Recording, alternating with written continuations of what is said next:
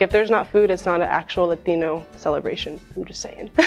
we do a lot of communal things around food. Certainly that's something that has connected uh, my family for generations. We have anywhere from tamales to enchiladas to the mole.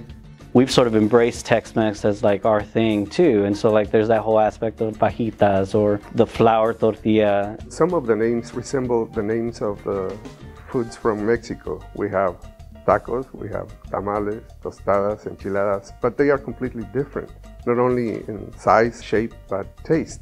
Some of the food that is like really special for us is like pupusas. The pupusas is basically like a tortilla, but they have cheese and pork inside. And you can choose if you want like a cheese and pork, or you can choose just cheese, or just beans, or just like with garlic. One of the main things where I come from, which is Rio de Janeiro, uh, is the feijoada, which is black beans with all kinds of meats in it. Then you put oranges and uh, veggies, and the great churrasco, which is all the meat that you can ever, ever eat in your life. One main thing that if you go to Dominican and you're a visitor, they're going to tell you to eat la bandera, which is your basic chicken, arroz con habichuela, and then of course some tostones, which is twice fried plantains. Uh, tostones, it's, um, it's a banana, but it's a green banana. So what you do is you just chop it in uh, small pieces and then you fry it, you deep fry it.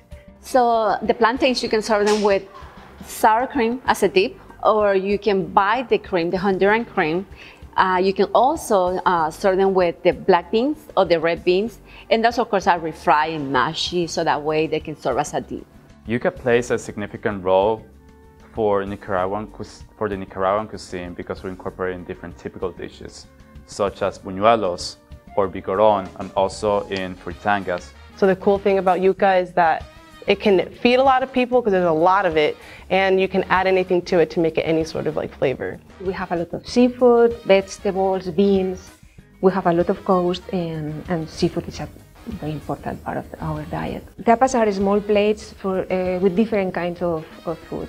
So um, if you are going to go out uh, before lunch, when you are going to take an appetizer, you go to a bar, you ask for a drink, and they always offer a, a little plate of food. We like café con pan. So um, bread and coffee, that's one thing. It's like we believe that it doesn't have to be a big meal. It can be a small meal as just café con pan.